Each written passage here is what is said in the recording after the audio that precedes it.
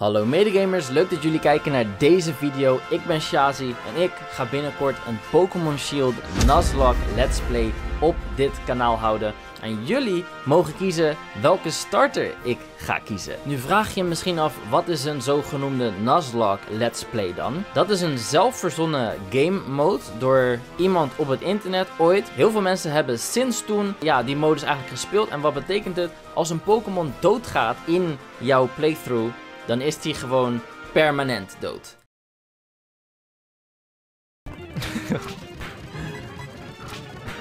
Oi, yo! Ik, oi, yo! Ik ben echt een teringmogol, hè?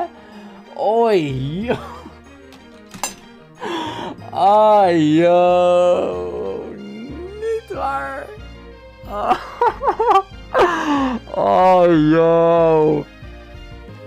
Oh, dit is echt zo fucking gaaf. Dat is het idee. Je moet hem dan in de box doen, in de kerkhof of in de graveyard. En dan mag je hem gewoon niet meer gebruiken. En sommige mensen die kiezen er zelfs voor om uh, de Pokémon dan echt te releasen. Dus dan ben je hem gewoon permanent kwijt. Ik ga hem in een graveyard doen, in een kerkhof, zodat ik er ooit nog bij kan. Maar ze zijn wel doodverklaard. Ik ga hem dan dus niet meer gebruiken. Zo zijn er nog een aantal andere regels, die ga ik zo vertellen. Maar eerst wil ik dat jullie eventjes kiezen. Er verschijnt nu een poll hier ergens of daar ergens. En dan mogen jullie kiezen welke starter ik dan neem. Dus je kunt kiezen uit Sobble, uit Grookey en uit Score Bunny. Dus ja, dan moet je even op dat dingetje klikken en dan krijg je zo'n poll te zien. En dan zie je die drie opties. En dan kan je daar lekker stemmen. Dus doe dat eerst eventjes. Naast deze Pokémon Shield Nuzlocke Let's Play die ik op YouTube ga doen, ga ik ook op Twitch een normale playthrough doen van uh, Pokémon Sword. Uh, dus als je dat wilt zien, dan moet je me even volgen op www.twitch.tv slash Shazi. Daar ga ik lekker zo snel mogelijk door de, door de game heen. En de video's van de Pokémon Shield Let's Play, die komen gewoon uh, ja, wanneer ik er tijd voor heb. Trouwens, heb ik nog niet gezegd, maar laat ook een naam achter in de comments. Ja, om me op ideeën te brengen of misschien kies ik gewoon legit de naam als ik hem zo leuk vind. Ja, voor de starter die je dan gekozen hebt. Dus laat dat me weten in de comments below. Like ook even deze video als je daar toch al bent. Dan ga ik jullie nu de overige regels van de Nuzlocke vertellen. Oké, daar gaan we. De Nuzlocke Challenge zelf, die start pas wanneer je pokeballen krijgt. Dus stel, uh, ik krijg mijn Pokémon herstel, ik krijg Sobble, omdat jullie daarvoor gekozen hebben. En ik moet tegen mijn rivaal gelijk en ik ga dood. Dan hoef ik niet gelijk weer opnieuw te beginnen,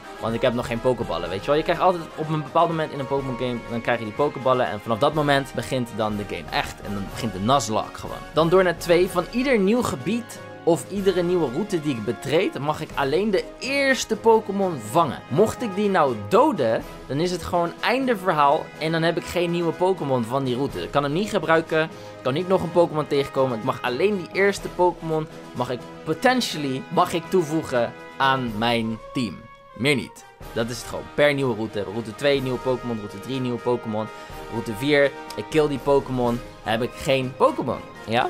Oké, als je je trouwens afvraagt van waarom doen mensen dit, zo'n Nuzlocke Challenge, dat is omdat je moet dan heel erg nadenken over, ja, echt letterlijk iedere move. Waar je bent, wanneer je wel en niet het gras in gaat. Want een wilde Pokémon is opeens ook gevaarlijk. Die kan zomaar een super effective move eruit gooien. Uh, waarvan je het niet weet en is je Pokémon gewoon permanent dood. En uh, ja, dat is gewoon leuk, want Pokémon zijn over het algemeen redelijk makkelijke games. En uh, dit is dus een mode voor de mensen die het leuk vinden om het zichzelf wat moeilijker te maken. Dus ja, ik ga wel goed op een challenge. En dat is waarom ik ook deze Nuzlocke challenge doe.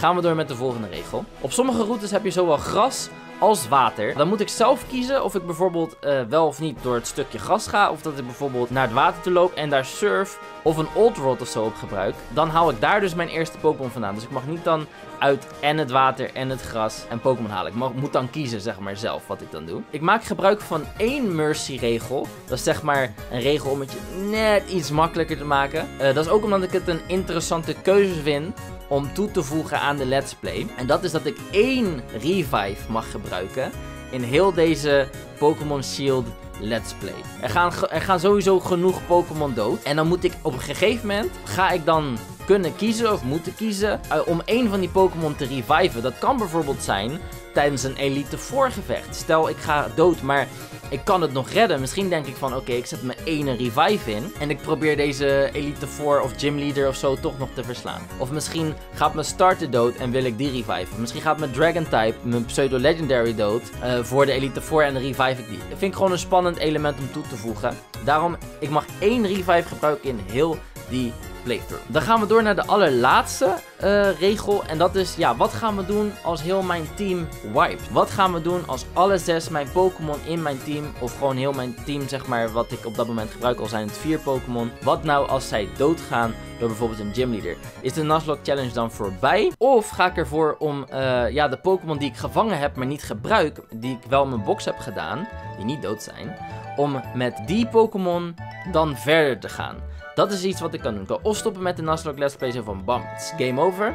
Of het is game over en we gaan door met de Pokémon die ik al had. En dan dus weer verder nieuwe Pokémon vangen en zo. Daar, daar ben ik nu nog niet over uit. Moet ik ook kijken waar ik uh, tegen die tijd dan zin in heb. Misschien wil ik helemaal niet overnieuw beginnen. Misschien ben ik heel erg eager om met andere Pokémon toch nog het verhaal uit te spelen. Misschien laat ik het wel aan jullie over. Ik weet het niet. Uh, maar dan weten jullie in ieder geval wel hoe ik uh, daarnaar kijk. Mocht ik helemaal compleet Dat waren alle regels die ik hanteer tijdens deze Nuzlocke Let's Play. Vergeet dus niet te stemmen voor welke starter jij wilt dat ik kies. En als je het leuk vindt, laat even een naampje achter of zo in de comments. Like deze video en uh, subscribe op dit kanaal om de Nuzlocke Let's Play te zien. Dan zie ik jullie heel graag de volgende video weer terug.